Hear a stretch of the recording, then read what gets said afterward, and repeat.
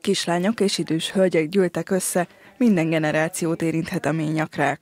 Évente 1400 új beteget diagnosztizálnak, közülük átlagosan 400-an bele is halnak a betegségükbe. Pedig a szakemberek szerint ez az egyetlen olyan rossz indulatú rákos megbetegedés, amely rendszeres szűréssel és védőoltással megelőzhető lenne.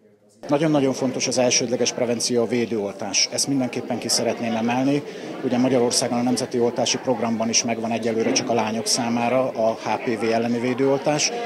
Remélhetőleg a fiúkat is, illetve remélhetőleg egyre több felnőtt nőt is sikerül rábeszélnünk, illetve meggyőznünk arról, hogy ez egy nagyon-nagyon hasznos és nagyon-nagyon fontos megelőző lépés a ményakrák szempontjából.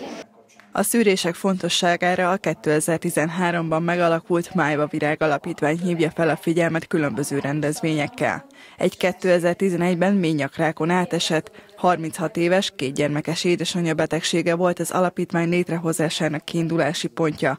Ma már két fő pillére van a működésüknek. Az egyik az érintettek összefogása, és maga a prevenció, tehát a betegségnek a megelőzése. Ugye mi a HPV-vel és a nőgyógyászati daganatos megbetegedésekkel foglalkozunk, ményakrák, petefészekrák, ezek tartoznak. Magyarországon már nagyon büszkék vagyunk arra, hogy 16 májva virágpontunk van. A nagyvárosok mellett, mint Debrecen, Nyíregyháza, Miskolc vagy Eger, egyre több kisebb település is csatlakozik a Májva Virág ponttal rendelkezők listájához. 2019 májusában alakult a Gálva Vencsellői pont, amely jelenleg az egyik legaktívabban működő csoportja az alapítványnak.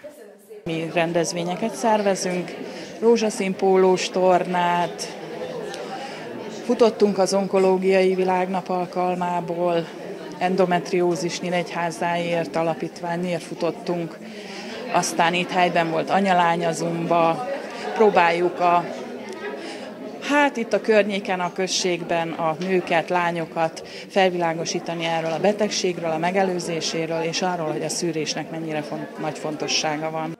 Az alapítvány Gáva Vencselői csapata tavaly egy felkérésnek eleget téve Erdélybe látogatott. Idén ismét felkérték őket, ezúttal Csíksomjón tartanak majd felvilágosító előadásokat a megelőzés fontosságáról és a kezelés lehetőségeiről, ugyanis 2020 a női egészségébe.